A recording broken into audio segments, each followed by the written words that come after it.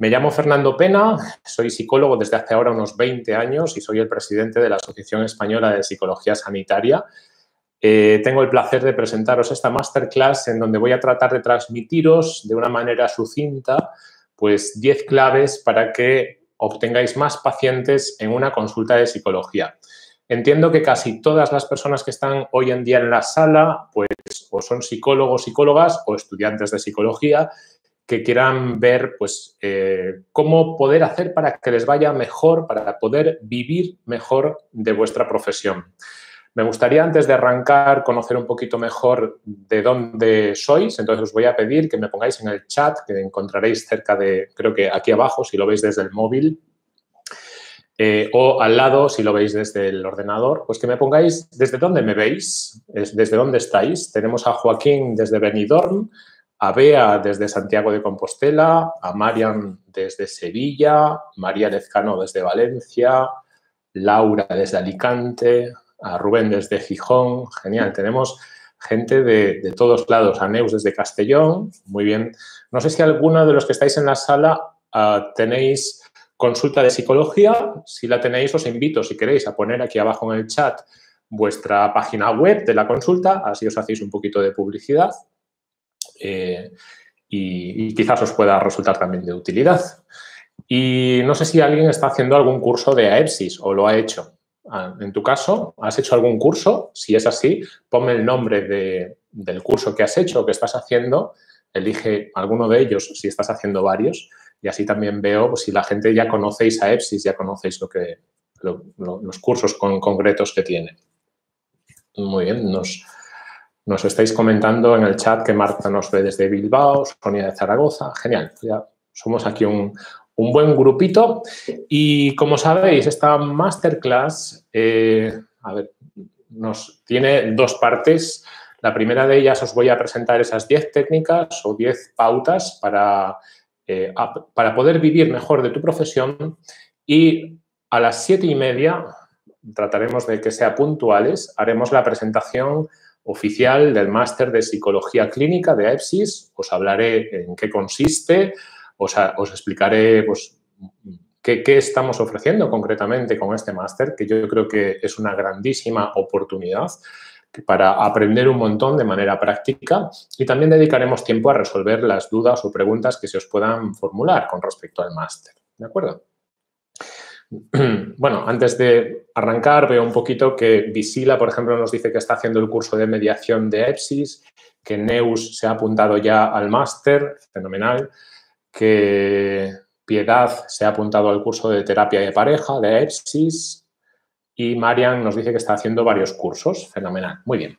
Bueno, pues vamos allá con estas 10 pautas, ¿de acuerdo? Os animo, si queréis, a tomar notas de ellas. Algunas os parecerán muy sencillas, otras os harán quizás pensar y os animarán a, llevarlas a cabo porque son realmente muy interesantes. Las 10 yo las he venido aplicando durante estos 20 años de experiencia y os garantizo que tienen mucha utilidad.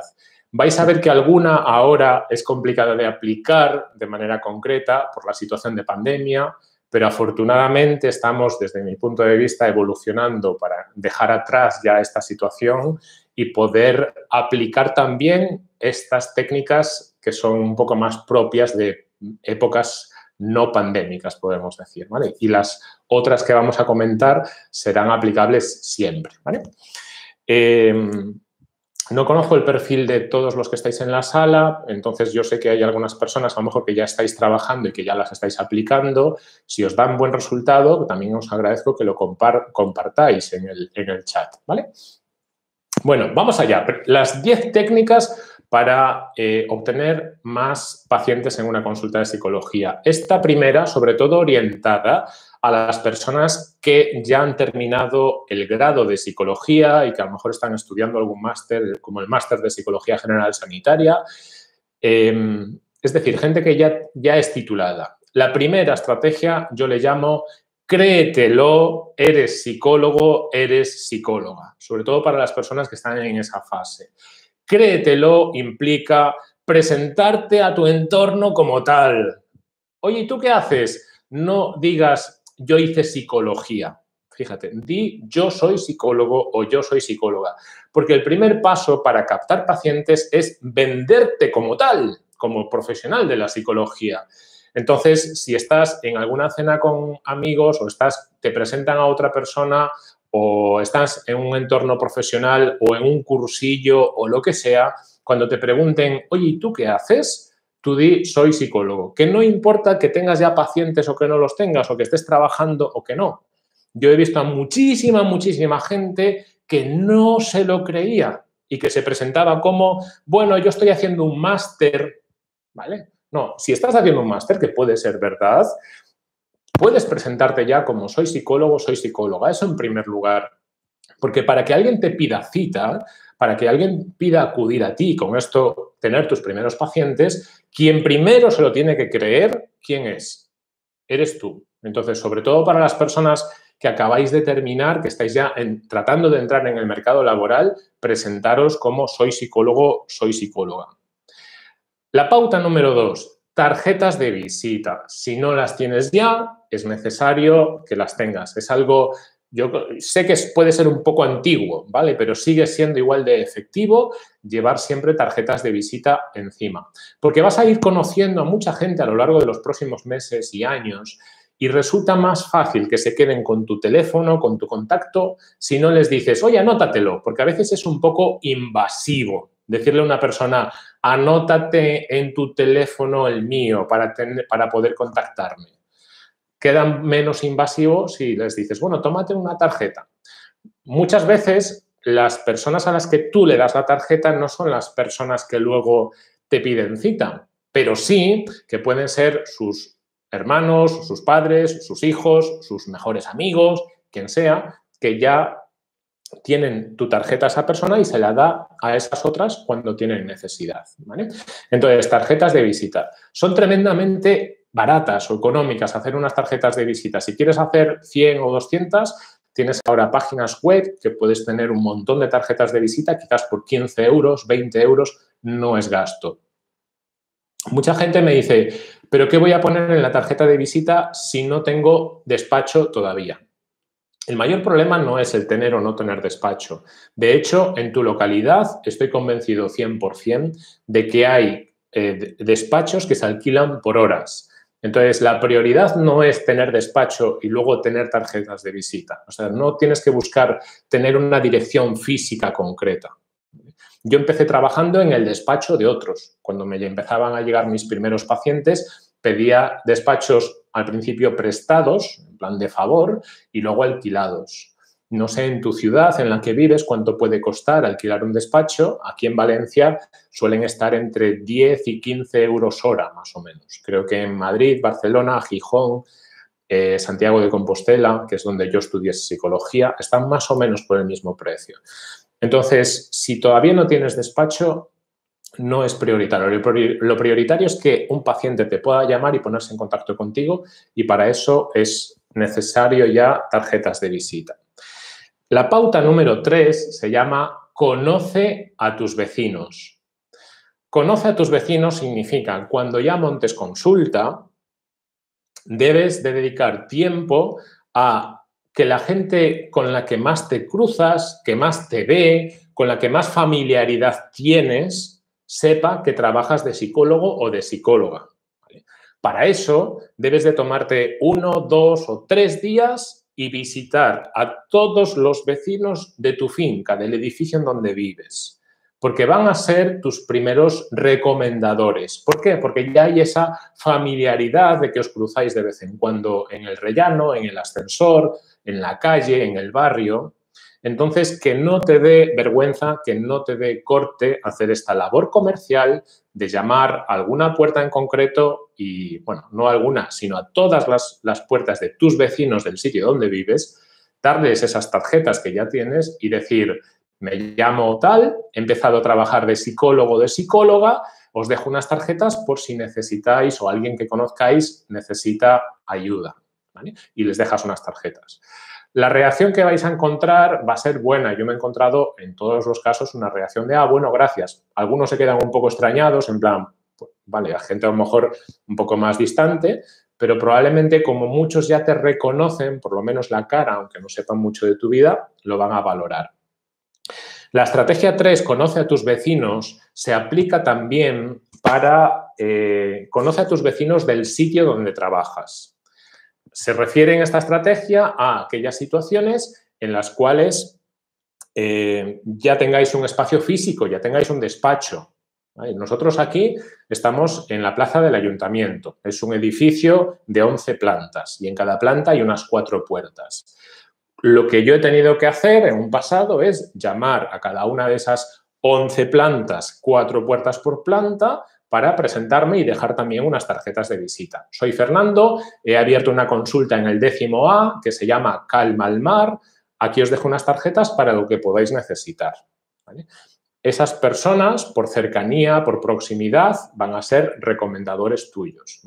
Y, por supuesto, conoce a tus vecinos. Esta estrategia también se amplía a que todos tus familiares, amigos, conocidos, pues sepan que estás trabajando y que tengan tarjetas tuyas, porque son las personas que más pacientes te van a proporcionar. La estrategia número cuatro es Internet.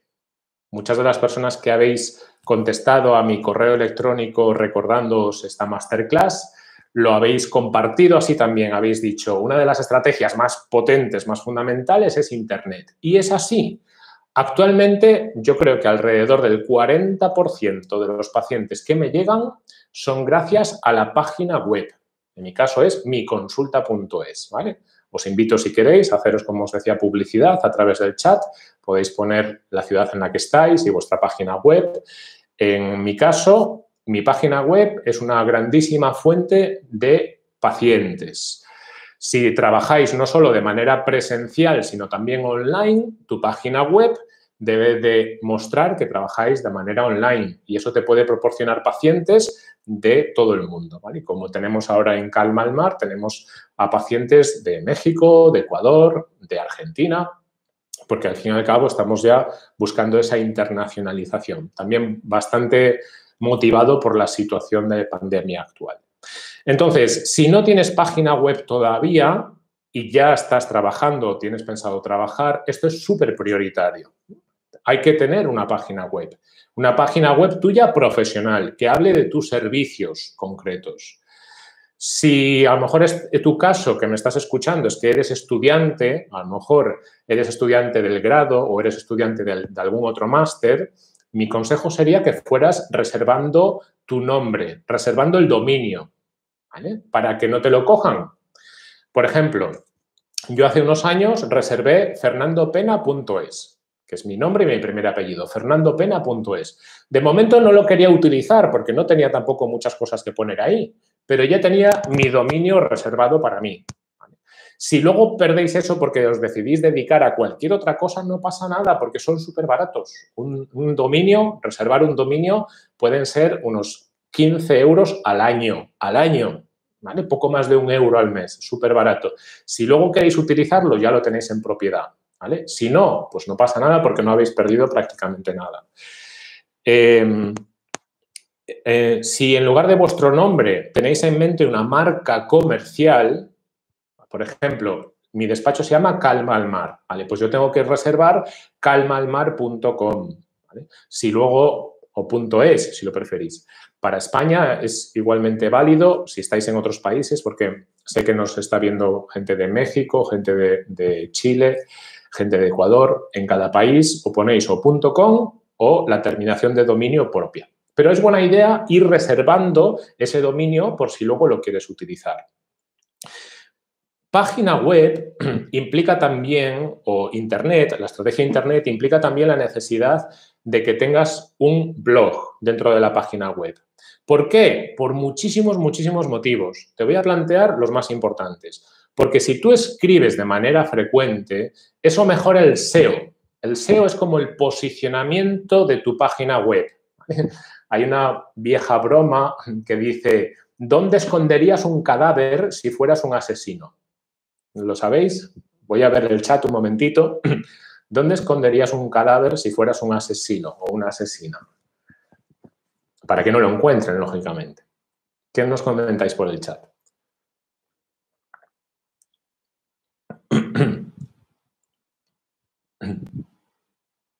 Bueno, voy a avanzar la respuesta, que quizás muchos ya habéis dado con ella. La respuesta es en la tercera página de Google.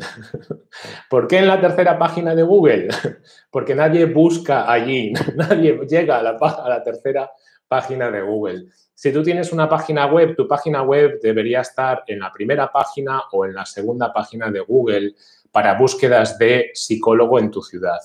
Y a esto contribuye, entre, otras, eh, entre otros motivos, es cierto, tu competencia. Si tienes competencia muy fuerte y potente, te va a resultar más difícil. Pero entre otros motivos, las estrategias SEO de posicionamiento. Y entre las estrategias SEO está que tu web refresque contenidos, ¿vale? Que pongas de vez en cuando cosas nuevas. De ahí la importancia del blog, de refrescar contenidos para que esa web se posicione mejor. También para ir dejando una huella de memoria potente, perdón, una huella eh, digital potente asociada a tu nombre. Si alguien hoy busca tu nombre en Internet, es preferible que aparezca asociado a la psicología que que aparezca asociado a una carrera popular que ganaste en el 2015 o a un concurso de baile latino que ganaste en el 2018. Mejor si aparece vinculada con tu profesión. Y para eso, escribir artículos en blog te favorece muchísimo eso y que luego te llamen por teléfono, que te escriban correos electrónicos pidiéndote cita, ¿vale? Entonces, es fundamental la página web, el blog, que puedes incluso solicitar colaborar con blogs de otras páginas web. Esto es importantísimo también que tomes nota de ello, porque si tú quieres dejar una huella digital de tu nombre asociado a la psicología y todavía no tienes blog propio, puedes ir a hablar con otras consultas de psicología que sí que tengan blog y pedir de manera voluntaria escribir artículos para su página, lo cual es un beneficio para todos. ¿Por qué? porque esa página web mejorará su posicionamiento con artículos nuevos y tú pedirás firmar con tu nombre, lógicamente, empezarás a asociar más tu nombre con la psicología. Entonces, habrá muchas páginas web que te digan, no, no nos interesa, y otras consultas de psicología que digan, oye, pues me vería beneficiado por refrescar contenidos en mi web, acepto. Y eso os beneficia a los dos. Internet, como pauta 4, significa también que si no tienes presencia ya en redes sociales vinculado con la psicología, es hora de que lo hagas. Hoy en día Facebook está dejando de ser potente, Twitter yo creo que está condenado a morir en pocos años, creo que ha pegado una bajada muy, muy importante, pero Instagram es una red en la que hay que estar. Y si no tienes cuenta profesional de psicología, incluso aunque fueses estudiante, mi consejo es que desde hoy lo hagas, que desde hoy empieces a crear ya una cuenta profesional de psicología, en la que vayas poniendo cosas que te llaman la atención, que te gustan o que tú haces vinculadas con la psicología. Los directos de Instagram tienen un enganche muy potente, aumentan mucho las visitas, aumentan mucho que la gente te conozca entonces, además de tener cuentas en redes sociales, potencialas mucho a través de directos y de contenidos frescos por lo menos una vez a la semana. A mí particularmente me ha beneficiado mucho el canal de YouTube. Ahora tiene unos 75.000 seguidores, mi canal personal de YouTube, en donde hablo de cosas de psicología y os garantizo que a lo largo de de, las semanas y los meses, hay muchas personas que se ponen en contacto conmigo porque han visto vídeos míos en el canal. Es una manera de que te conozcan de manera directa y fácil. Entonces, también os animo a que os creéis una cuenta en YouTube en la que habléis de psicología, si bien esto da un poco más de trabajo, ¿vale? Porque es verdad que mantener una cuenta de YouTube al día con contenidos frescos requiere tiempo y dedicación. Pero es buena idea también y os va a aportar nuevos pacientes en vuestra consulta. Que no os dé vergüenza exponer vuestro rostro a la, a la, a, la cámara, que no os dé corte, porque es una estrategia muy, muy, muy potente. La estrategia número 5 es médico de cabecera. Médico de cabecera implica que deberías hablar ya o mejor dicho, no ya todavía, porque esta es una de esas estrategias en donde necesitas verle directamente. Si a ti te pasa como a mí en tu ciudad, si necesitas hablar con tu médico de cabecera, te llamará por teléfono. Por lo tanto, esto ahora no es efectivo, pero en pocas semanas o meses, esperemos, sí que podrás ya pedir cita presencial con tu médico, por ejemplo, para hacerte unos análisis de sangre o algo rutinario y aprovechar esa visita para decirle, te dejo aquí unas tarjetas de visita. ¿Por qué? Porque los médicos de cabecera saben que una buena parte de sus pacientes no van a mejorar si no es con asesoramiento y asistencia psicológica. Y saben también que el psicólogo de la seguridad social, pues muchas veces no les va a dar a esos pacientes ni la frecuencia ni la duración de las sesiones suficiente. Por lo tanto, si tienes buen trato, buena relación con tu médico de cabecera, tienes que llevarle tarjetas de visita y que tu médico de cabecera sepa que tú trabajas de psicólogo o de psicóloga. Entonces, anótatelo ya en la agenda para que nada más cambie esta situación un poco, puedas hablar directamente con tu médico de cabecera. La estrategia número 6 se llama querido psiquiatra. Querido psiquiatra, tómate si quieres nota de ello.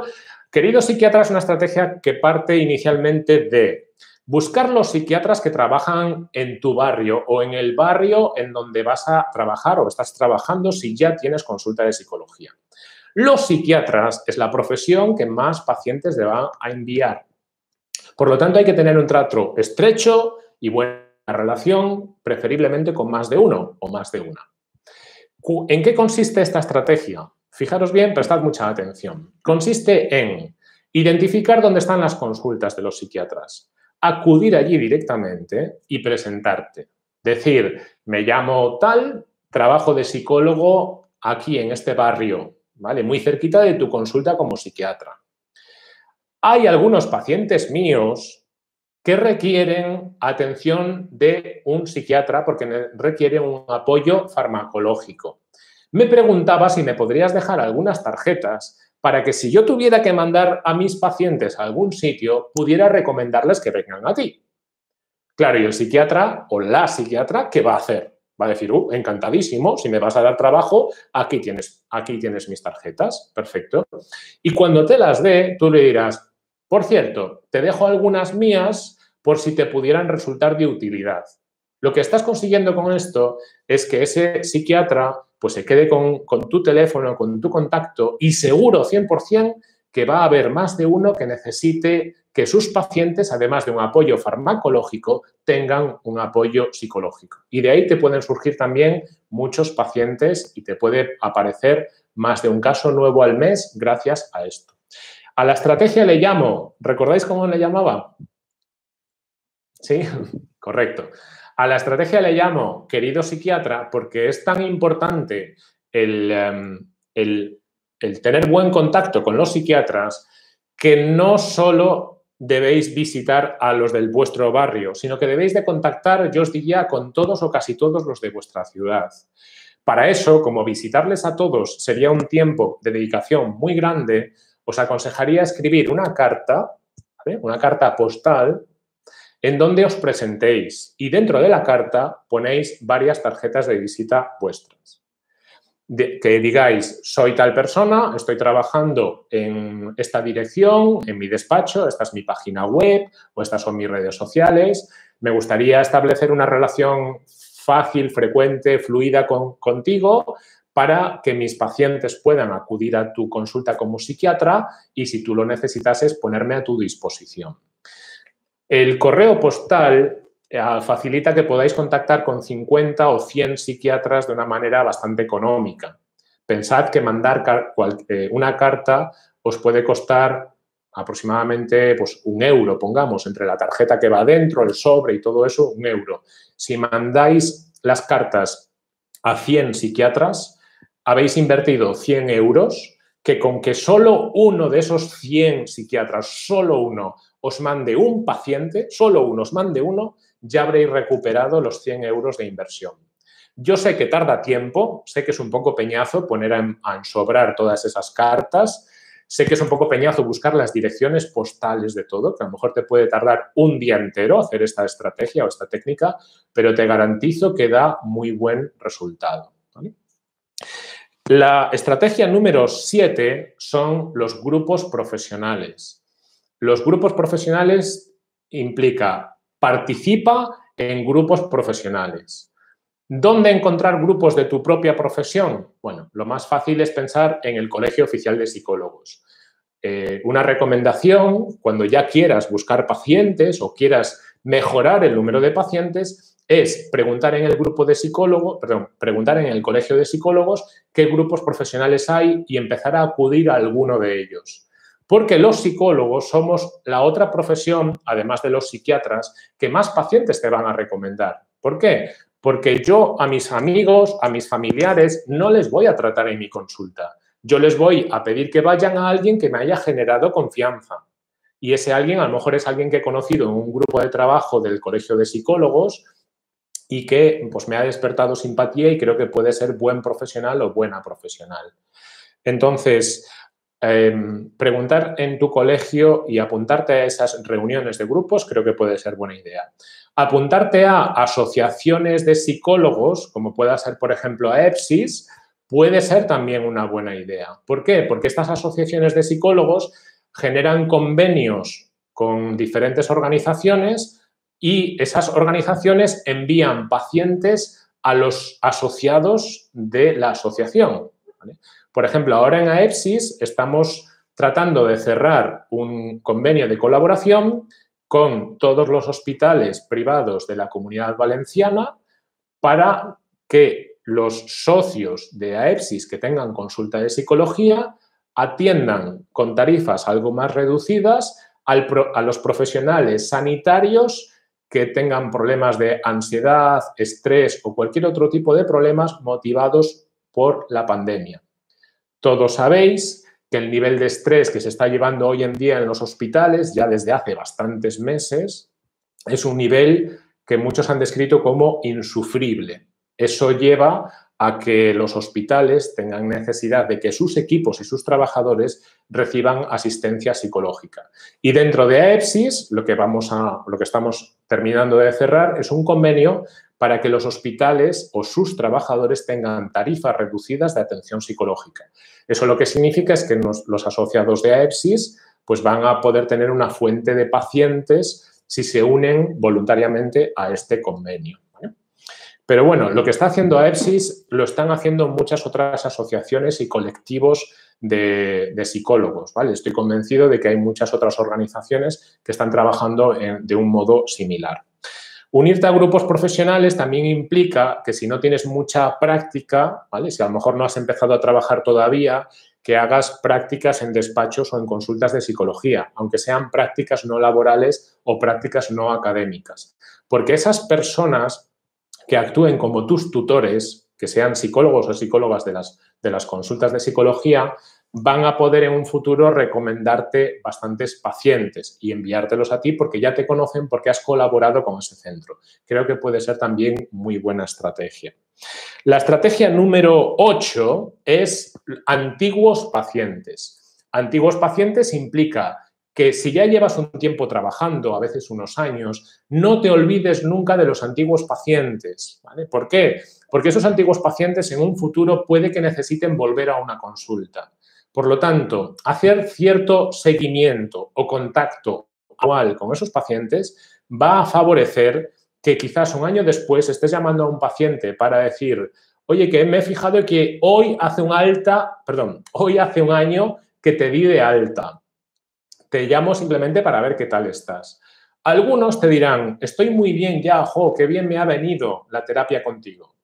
Y otros te van a decir, pues mira, llevo unos días un poco de racha que estaba pensando en llamarte, no me decidía, pero aprovechando que me llamas, ponme cita.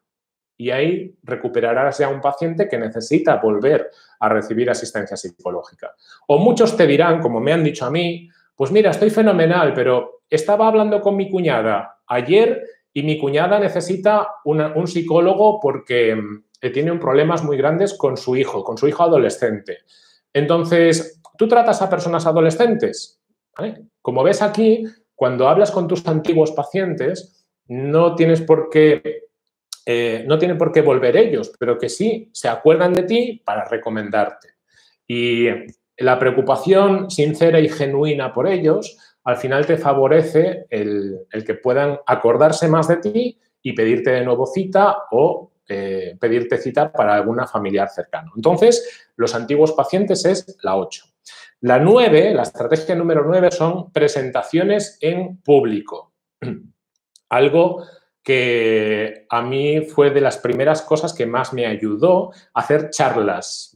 Yo empecé a trabajar en Carcaixent, que es un pueblo de la provincia de Valencia, tenía una consulta pequeñita allí y para que la gente me conociese hacía charlas que inicialmente eran de crecimiento personal y en cada charla venían de manera gratuita 15, 20 personas y todas ellas se iban con mi tarjeta de visita. Veías que al cabo de uno o dos meses alguna de esas 20 personas te llamaba para pedirte cita, ya sea para ella directamente o para algún familiar o conocido. Entonces, las charlas dan muy buen resultado. Entonces, busca un tema que le pueda gustar a la gente en general. Hoy en día también puedes tirar de no hacer charlas presenciales, sino que puedes hacer charlas online, utilizando cualquier formato de webinar, utilizando YouTube, utilizando las redes sociales y los directos de las redes sociales deberías de plantearte un calendario de charlas para que hagas por lo menos una al mes y que sean temas genéricos. O sea, no des una charla de tratamiento del trastorno bipolar en mujeres en edad eh, avanzada. No, porque eso a lo mejor tiene un público muy reducido.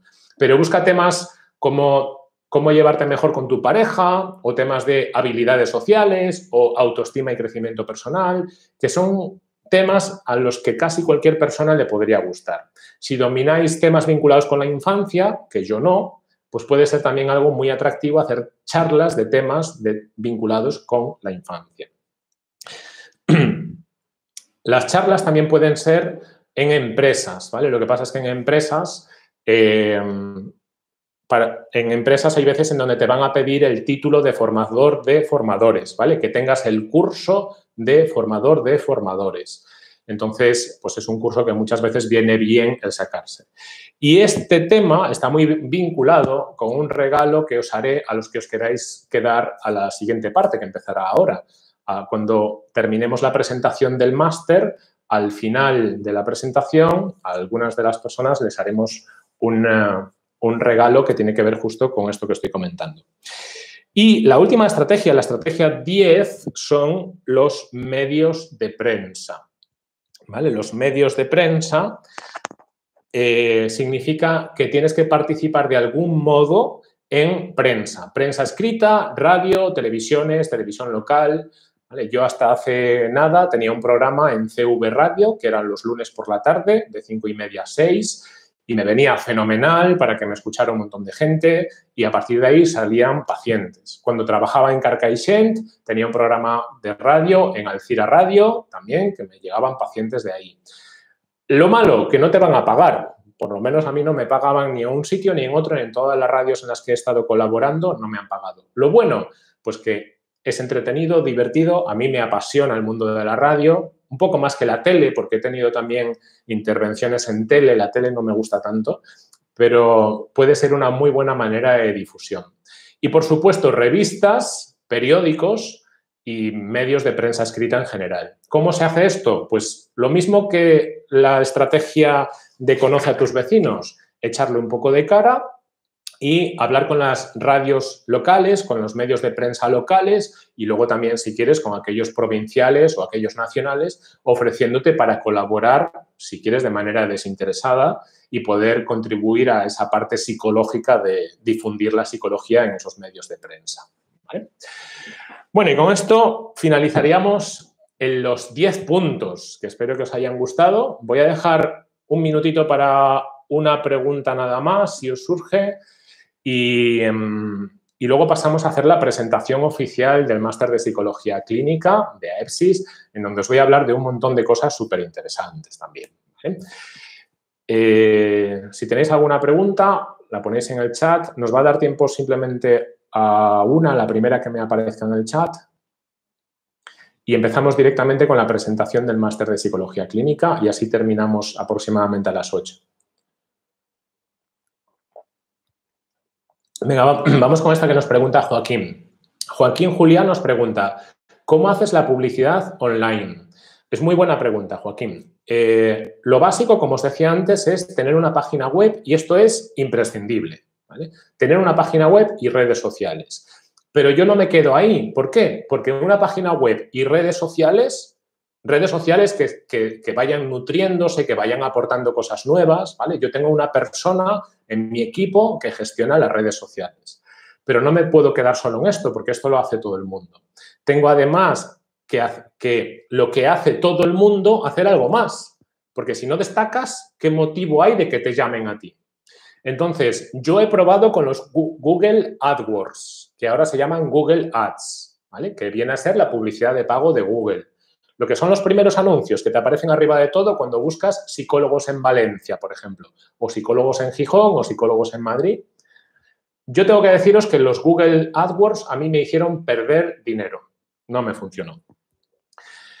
Actualmente estoy trabajando con Facebook Ads, ¿Vale? Facebook Ads es algo que sí que está funcionando. A mí, por lo menos, me, está marcando la diferencia. La publicidad de pago de Facebook me está dando buen resultado porque Facebook va un poco más al público diana. O sea, si yo quiero sacar algo para personas que vivan en la ciudad de Valencia concretamente, que tengan entre 30 y 35 años o entre 30 y 40 años, que además les guste el desarrollo personal, Facebook le presenta la publicidad a esas personas y es una publicidad relativamente económica. Entonces os lo recomiendo. Bueno, después de estos 10 puntos, que como digo, espero que os hayan gustado, os voy a presentar el máster de Psicología Clínica de AEPSIS. Es un máster que, bueno, em, acabamos de lanzar ahora. La primera promoción sale en marzo, se abre en marzo. Hay personas ya apuntadas a esta primera promoción y creo que es uno de, de los másteres que te puede aportar más interés de los que hay en el mercado. ¿vale? ¿Por qué? Eh, bueno, primero por los contenidos. El máster está compuesto por 25 módulos, que creo que casi todos los que estáis hoy en directo y los que veis esta grabación en diferido los habréis visto ya. Los 25 módulos os hablan del tratamiento paso a paso y sesión a sesión de una manera específica de, por ejemplo, pacientes con depresión, pacientes con ansiedad, pacientes con ataques de pánico, pacientes con eyaculación precoz, pacientes con trastorno límite de personalidad.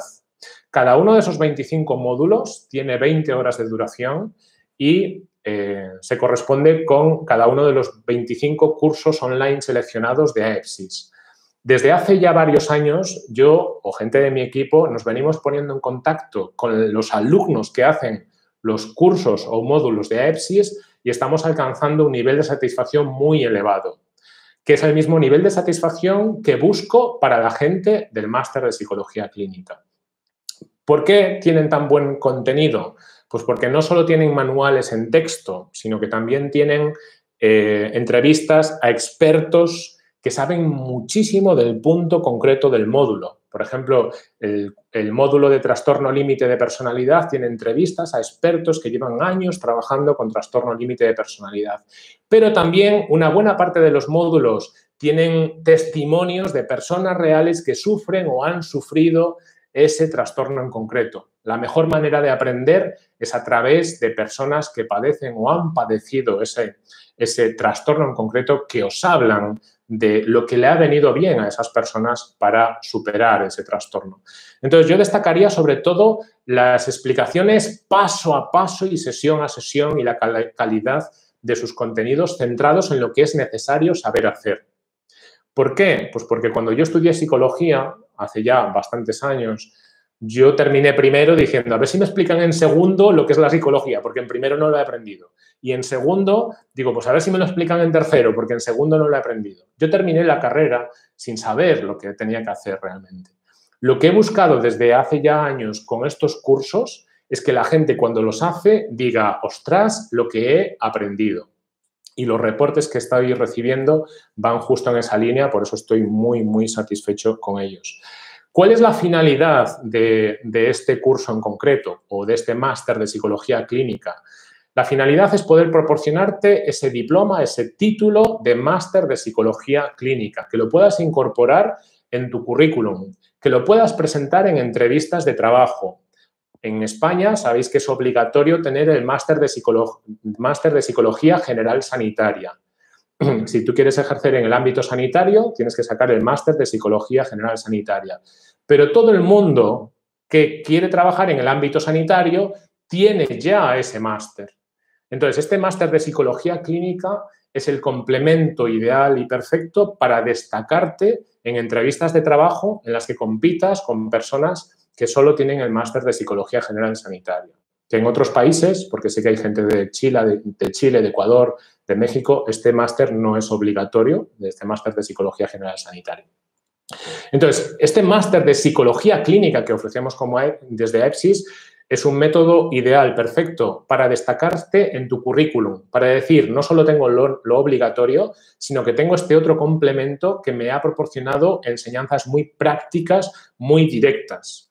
Y en las entrevistas de trabajo te van a preguntar cosas en centros, de, en centros sanitarios, como por ejemplo, ¿qué harías con un paciente con TOC que dice que cuando ve un cuchillo pues tiene pensamientos de eh, clavárselo a su niña pequeña de dos años, que son pensamientos obsesivos frecuentes en el TOC.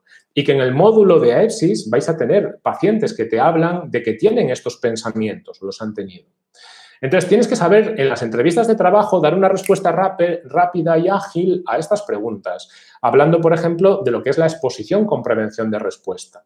Y en los módulos de este máster de psicología clínica se explica lo que es este método. O lo que es la, pérdida de cadenas conductuales en la depresión.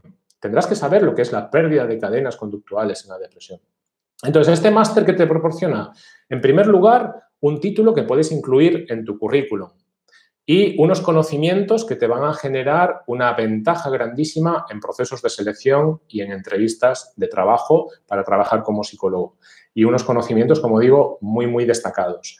Mucha gente nos pregunta, ¿este máster me cuenta también en oposiciones?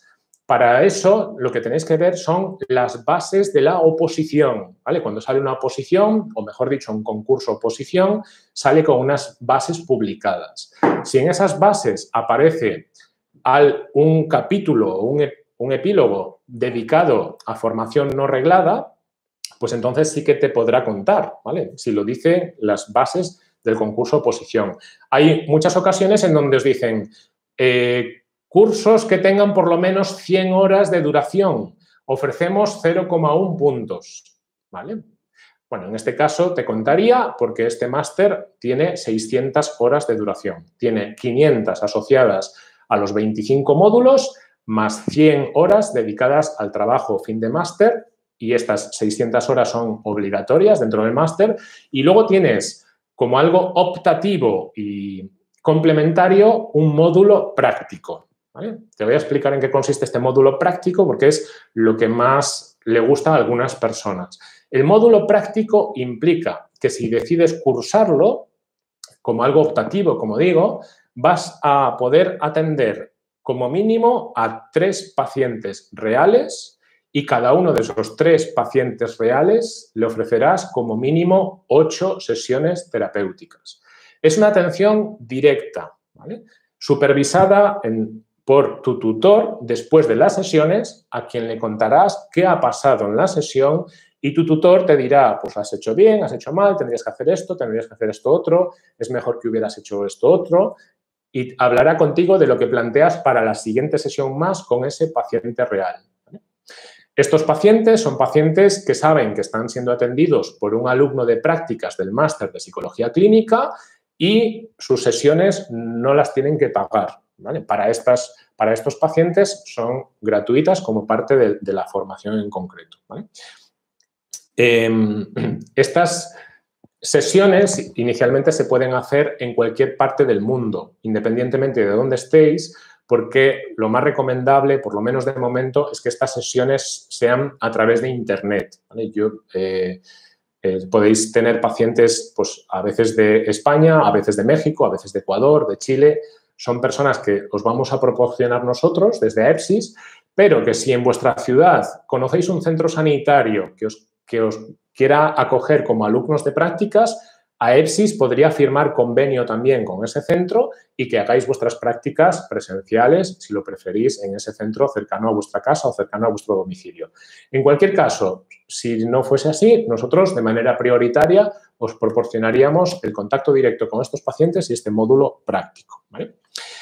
Eh, ¿Cuándo empieza el máster? Pues la primera edición va a empezar ahora en marzo, las matrículas están abiertas ya, de hecho hay personas que ya se han matriculado y eh, en marzo abriremos el espacio académico. El espacio académico son, además de los 25 módulos que componen el máster, que se abren nada más de matrículas, hay un espacio académico en el cual vais a interactuar, a poder interactuar con los otros alumnos de esta primera edición para saber pues, qué es lo que hacen, qué interés tienen, para poder incluso colaborar con ellos en algún otro proyecto o trabajo y así poder pues, fomentar la relación entre los estudiantes de esta primera edición del máster.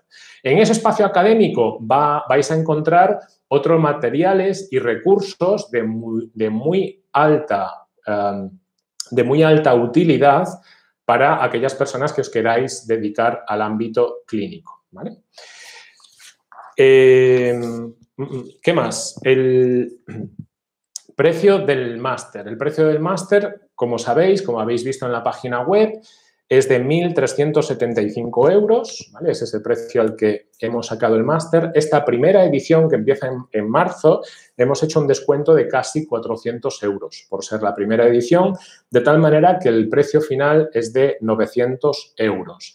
Estos 900 euros eh, los podéis incluso decidir pagar en tres cuotas, ¿vale? La primera cuota de los 900 euros, que sería un tercio, es decir, 300 euros, se pagaría en el momento de la matrícula. La matrícula la podéis hacer en aepsis.com barra. Y las otras dos cuotas, la segunda se hace al cabo de tres meses y la tercera al cabo de seis meses. Si además ya habéis hecho algún curso de EPSIS, el precio que hayáis pagado por ese curso se os descontaría de los 900 euros. Por ejemplo, si tu caso es que te has apuntado a varios cursos y has pagado ya 100 euros, pues tendrías que restar 900 menos 100, son 800, y eso, si tú quieres, lo puedes pagar también en tres cuotas a través de aepsis.com barra master. ¿De acuerdo? Y, y, poquillo más. Yo os decía, em, al final de la sesión de hoy os voy a hacer algún regalito a quien decida apuntarse al máster por haber tenido el detalle de haber estado conmigo aquí un ratito en directo o de haber visto la grabación, si veis esta grabación, a lo largo de los próximos días. Y el regalo es que aquellas personas que se matriculen en el máster eh, antes del viernes de la semana que viene, o sea, a lo largo de este fin de semana o antes del viernes de la semana que viene, vais a tener la cuota de socios de ASNIE gratis durante dos años, sin compromiso, por supuesto, a continuar, la cuota de los socios gratis durante dos años. ¿Qué implica que tengáis la cuota gratis durante dos años? Pues que lo que cuesta, que son 49 euros al año, o sea, casi unos 100 euros, os lo ahorráis. Con la ventaja de que los socios de EPSIS tienen gratis todas las charlas de EPSIS de todos los jueves a las 7. Como sabéis, en AEPSIS hay charlas todos los jueves a las 7 tienen una duración de una hora y un precio de inscripción de 5 euros. Si os apuntáis al máster antes del viernes de la semana que viene, tenéis la cuota de socio y eso incluye el acceso gratuito a todas las charlas, con lo cual os estáis ahorrando al final unos 200 euros de matrículas en charlas más 100 euros más de la inscripción eh, en la asociación, de la cuota de socios durante dos años.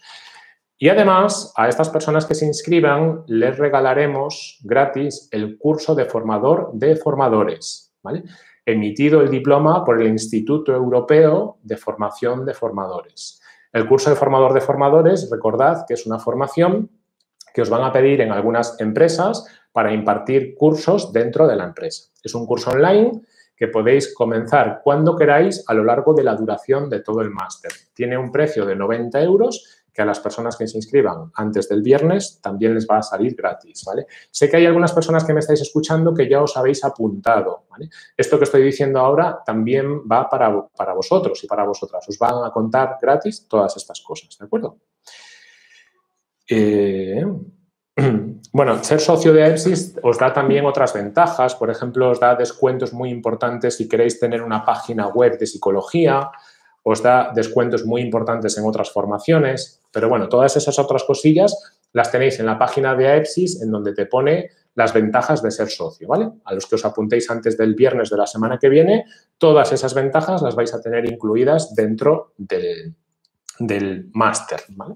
Además de todos esos contenidos del espacio académico propio del máster.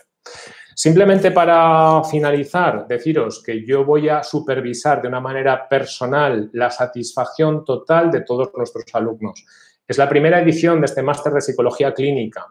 Yo he puesto todo mi cariño y toda mi intención en que salgáis tremendísimamente satisfechos para que los alumnos de la segunda promoción sean recomendaciones de los alumnos de la primera promoción.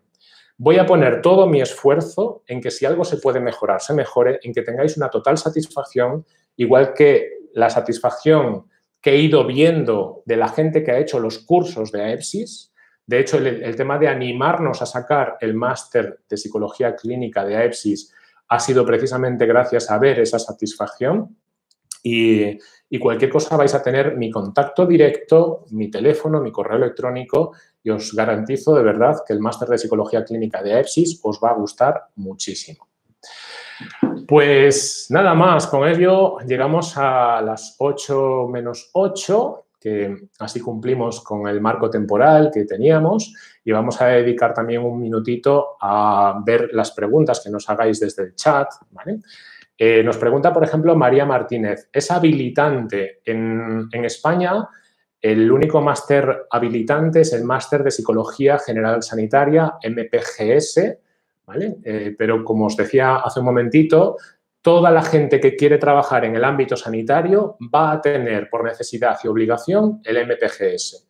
Con lo cual, si no tenéis alguna cosa añadida que os destaque de toda esa gente, estáis entrando en un mercado laboral con una competencia muy elevada. Entonces, es muy recomendable que tengáis alguna formación superior añadida, ya sea esta que os estoy presentando o cualquier otra que os motive y os interese, pero tenéis que formaros a nivel superior en alguna otra cosa añadida. Eh, nos pregunta Rebeca en el chat, si te has apuntado a cursos que no forman parte de los módulos, pagando la diferencia, ¿debes hacer tanto el máster como los cursos o solo el máster? Eh, para sacar el máster tienes que sacar los módulos del máster. Si has pagado algo, sea de los módulos o de otra cosa, si has pagado matrículas, me refiero. Si has pagado matrículas, esa cantidad de las matrículas, sean de módulos que hay en el máster o sea de otros módulos, se te descontará del precio. Y recordad siempre que lo podéis pagar en tres cuotas. La primera en el momento de la matrícula, la segunda al cabo de tres meses y la tercera al cabo de seis meses. Eh, nos pregunta Juan, Fernando, ¿nos enviarán algún correo con lo que dices del curso de formador de formadores? En mi caso, ya pagué la matrícula del máster. Eh, sí, Juan, nos consta que, tú ya eres alumno, como algunas de las otras personas, y efectivamente eso te va a aparecer, eh, te, van a mandar un correo mis compañeros para darte acceso a esto. Las personas que ya os habéis matriculado tenéis acceso gratis a ese curso de formador de formadores que os otorga el título de formador de formadores avalado por el Instituto Europeo de Formación de Formadores. Nos preguntan si hay algún orden para seguir los módulos. La respuesta es no. Podéis iniciar los módulos y avanzar en el orden que queráis. Nada más accedes al máster de psicología clínica, tienes abiertos los 25 módulos, tienes a tu disposición los tutores para preguntarle lo que quieras de cada uno de los 25 módulos, independientemente de por cuál comiences, y habitualmente nuestros tutores contestan justo el mismo día como muy tarde al día siguiente, ¿vale? Y si queréis tener entrevistas con ellos para una atención telefónica o por Skype o por Zoom, los tutores están aquí para proporcionaros una atención directa y que salgáis satisfechos y satisfechas también con esa tutorización. Eh, vamos a ver si veo alguna otra pregunta. Mi miedo en los cursos siempre es la parte del tratamiento de los trastornos. ¿Se explican técnicas y tratamiento útiles y prácticas? Totalmente sí. Las personas que ya habéis hecho cursos con AEPSIS sabéis que mi principal esfuerzo es que los cursos expliquen la parte práctica, ¿vale? Que no solo te hablen de la teoría del trastorno, sino que te digan, con estos pacientes tienes que hacer esto, esto, esto y esto. Entonces, la respuesta, Mark, es que sí, que nos esforzamos por hablar de la parte práctica. Nos dice Mark que en su carrera siempre ha habido mucha teoría. Justo por eso es por lo que eh, decidí hace ya unos cuantos años crear los cursos AEPSIS y formar a la gente en este tipo de parte práctica y aplicada. Y el máster deriva precisamente de buscar esta parte práctica. Eh, nos dice Mariam, ¿qué plazo tendríamos para terminar los módulos y el TFM? El plazo máximo para finalizar el máster es de dos años desde el momento de la matrícula. Y los dos años incluyen los 25 módulos y el TCM. Es tiempo que hemos calculado que es suficiente. Muchos alumnos, yo creo que en un año y medio más o menos lo, pueden sacar llevando el máster. Estamos calculando siempre que el máster es algo que se hace eh, de manera paralela a otra cosa. Cuando yo os digo lo normal es que lo terminéis entre un año y un año y medio, estoy hablando de que estáis acompañando el máster de trabajar en algún otro sitio o de algunos otros estudios diferentes. Si solo os dedicaseis al máster, lo ibais a terminar mucho antes, lógicamente. La parte práctica, el módulo práctico que hemos comentado antes, es necesario, si os queréis apuntar a él, porque recordemos que es algo opcional, es necesario que hayáis terminado el 50% de los cursos, que tengáis el, examen final del 50% de los, de los módulos eh, superado. Una vez tenéis ya el 50% de los módulos, vuestro tutor lo va a saber ya, se va a poner en contacto con vosotros y os va a preguntar si queréis empezar ya el módulo práctico. En ese momento tendrá algunas reuniones contigo para ver el nivel que tienes si ve que, te falta todavía conocimientos, te recomendará algunas lecturas o tendrá sesiones individuales contigo para prepararte más. Y en el momento en donde los dos, el tutor y tú, os veáis preparados, empezará a pasarte los primeros pacientes. Siempre supervisado por ese psicólogo para ver que lo que estás haciendo con el paciente sea lo, adecuado y lo correcto. Vamos a seguir leyendo preguntas por si os surgen.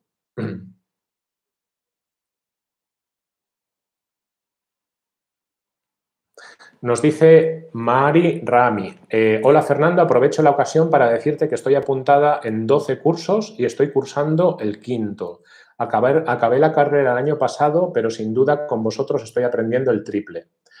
Gracias, eh, María. Justo esto te lo agradezco porque es un poco lo que buscamos con todos nuestros alumnos.